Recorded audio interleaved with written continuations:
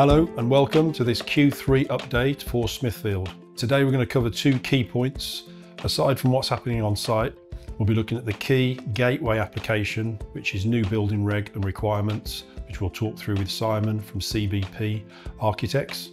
And secondly, I'll run through the phasing program across all units at Smithfield. Due to the size of our Smithfield project, the development requires precise planning and structuring around the phasing program. The buildings will be delivered across three key phases, lofts, works and then house. House will then be delivered across two key phases at separate times. So I'm going to talk you through the schedule of works and then the phasing program for Smithfield, uh, all units. The schedule of works starts with the removal of any final tenants that are within our light industrial units currently on site and then we'll be heading into demolition in the November and December of this year. So we want the site cleared for early year and uh, in preparation for the groundworks and then we'll be working through the site for completion in February 27. Moving on to works, so this second building of the first phase will be demolished alongside the first building with groundworks and the general build and substructure starting just shortly after. Now build completion here is November 26, then we'll be moving on to house. This is the final phase of Smithfield in two parts. This will be delivered in two phases. Phase one, we will be working through the site through March 25 through to August 27 with delivery of first phase unit September 27.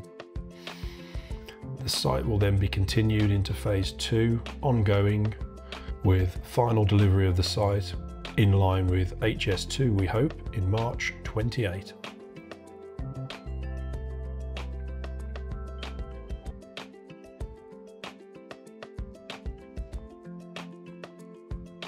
Hi there, I'm Simon Birch. I'm uh, Director of CBP Architects, uh, practicing in Nottingham. Uh, we're working on the uh, projects for Prosperity in Birmingham. That's the Smithfield and the Kent Street projects. Uh, and I just wanted to just go through um, the situation that's happened with the building regulations recently and the changes that's occurred through the effects of the Grenfell inquiry and how that's affected um, the process of um, putting in building regulations. So the main change is that um, the government brought in uh, the BSA, which is the Building Safety Act, uh, and that uh, quantifies buildings of high risk. Uh, and both um, both Smithfield and Kent Street come under this under this category. Buildings of high risk are buildings over 18 metres to the highest floor, uh, buildings over seven stories, uh, and also that contain two or more uh, residential, residential dwellings. Um, the process is split into a gateway process, which is gateway 1, 2 and 3.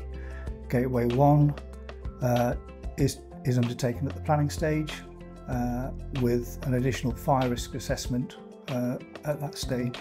Gateway 2, which is where we are with Kent Street and, um, and with Pressworks, is at the construction stage. Um, so I say that's where we are. That's getting all the information ready to present to the building safety regulator. That happened instead of going through the standard building regulation process. Um, and that goes through for approval before any works can start on site.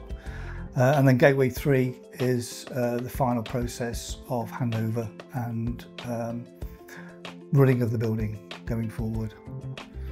Um, that basically is, is the, the new process that we're going through with, the, with these projects.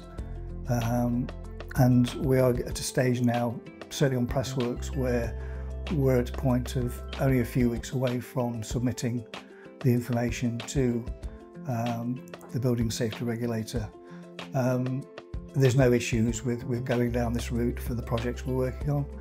Uh, and as I say, we're quite close now to submitting all the information to the building safety regulator. And at that point, uh, yeah, we can uh, look to start on site. I hope you found that useful. Thank you for joining us.